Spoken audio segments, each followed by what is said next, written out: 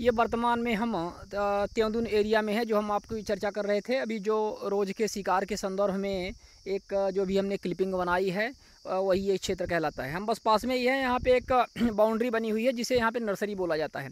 Nursery में विभिन्न प्रकार के पेड़ लगाए गए हैं और ये जो महत्वपूर्ण पेड़ हैं, प्राकृतिक दृष्टि से जो माने जाते हैं उन सारे पेड़ों को पंचायतों द्वारा रेवेन्यू फ़ील्ड में जो रेवेन्यू के क्षेत्र हैं, राजस्व विभाग के यहाँ पे कुछ लगभग 700 हेक्टेयर का जो एक पैच है यहाँ पे एरिया है, वह राजस्व विभाग के अंतर्गत आता है। उसी में विभिन्न पंचायतें जो यहाँ से संबंधित हैं, जैसे सेदहा पंचायत है, हिनौती पंचायत है, लोटनी पंचायत है, पनगड़ी आदि, ये जो जो पंचायतें हैं, इनके अंतर्गत कुछ रेवेन्यू फ़ील्ड आते हैं, जहाँ पर हरियाली प्रोजेक्ट के अंतर्गत कुछ ऐसे कार्य किए गए थे। उन कार्यों के बारे में हम आपको चर्चा करते हैं यहाँ पर कि जो तेंदुन और नौपथा मार्ग पर ये जो आप बाउंड्री देख रहे हैं, ये वहाँ से पूरी बहुत दूर से बाउंड्री होते हुए आई है, ये देखें किस तरह से यहाँ पे बाउंड्री ये टूटी हुई, यहाँ के पत्थर ख़त्म है। यहाँ इसी तरह से बीच बीच में आप देखेंगे कि ये पत्थर पूरी तरह से खत्म इसके अंतर्गत इसके अंतर्गत ये बहुत दूर तक जो गई हुई है जो एरिया ये जो आप पेड़ देख रहे हैं, ये सब पेड़ लगे हुए हैं। आमले के पेड़ हैं, नीम के पेड़ हैं, विभिन्न प्रकार के पेड़ हैं, नर्सरी का प्रोजेक्ट था। अब दुर्भाग्य की बात यह है कि यह जो नर्सरी की सुरक्षा के लिए ये जो पत्थर लगाए गए थे, पत्थरों के टुकड़े रखे गए थे, अवैध कहते हैं कि यहाँ पे अवैध परिवहन नहीं है, या पत्थरों को ढोया नहीं जा रहा है। या यहाँ से उत्खनन नहीं हो रहा है। तो इसको आप क्या कहेंगे? क्योंकि ये उत्खनन ना भी कहें तो अवैध रूप से परिवहन के अंतर्गत तो आ ही जाता है कि जो आखिर नर्सरी के, जो राजस्व के भी हों या राजस्व के क्षेत्र में हों या वन विभाग के क्षेत्र में हो, जहाँ भी हों ये पत्थर तो आखिर यहाँ कहाँ चले गए? कैसे चले गए यहाँ से? आखिर जब इनकी सुरक्षा करने के लिए पूरा का हाँ पूरा का पूरा वन अमला है, जो से हमारे बली भाई, यहाँ पे बली सिंह परिहार जी जो बात दिखा रहे हैं कि ये देखिए किस तरह से पैचेज पूरे के पूरे गाय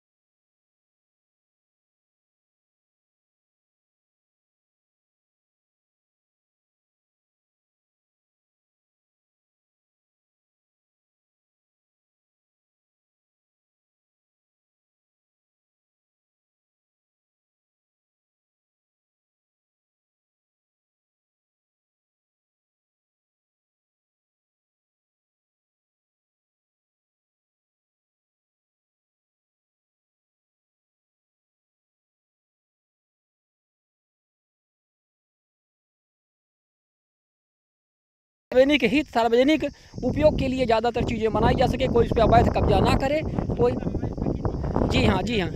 हाँ अली सिंह जी कह रहे हैं कि हमारी वन संपदा, हमारी हमारी हमारा आधार है, ये ये प्रकृति से जुड़ी हुई है और यही हमारे जीवन का आधार है और इस तरह से यदि ये नष्ट हुई तो हम कैसे जीवित रह पाएँगे? जिस तरह से जलवायु परिवर्तन हो रहा है क्लाइमेट चेंज हो रहा है ग्लोबल वार्मिंग वार्मिंग आ रही है ये सब संकट इन्हीं के कारण बढ़ते जा रहे हैं। आखिर हम इन छोटी छोटी चीज़ों पर यदि ध्यान नहीं देंगे तो कैसे हमारा ये जो है पारिस्थितिक तंत्र बचेगा?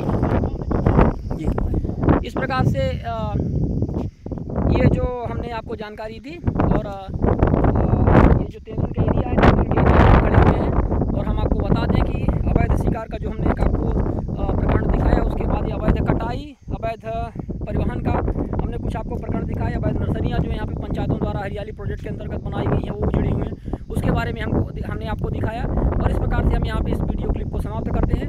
और हमारा हर संभव यही प्रयास है कि हम इसके प्रशासन के उच्चाधिकारियों तक ये बात पहुँचाएँ, जो संबंधित विभाग है उनके पास ये बात रखें, मीडिया के पास पहुँचाएँ, ताकि इसमें एक सार्थक पहल हो सके। और जो हमारे जंगली क्षेत्र जो सिरमौर जिला रीवा के अंतर्गत जो मध्य प्रदेश में जिला रीवा के अंतर्गत सिरमौर रंज में, जो हमारा लाल गाँव सर्किल आता है, विशेष तौर पर क्योटी से प्रारंभ होकर सुहागी तक जाता है। इसकी हर प्रकार से वन्य जीवों की, जंगली क्षेत्र की और यहाँ की भूमि की सुरक्षा की जा सके और यहाँ पे स्थितियाँ बेहतर हों, यही हमारा प्रयास है। इसी के साथ आपका बहुत बहुत धन्यवाद।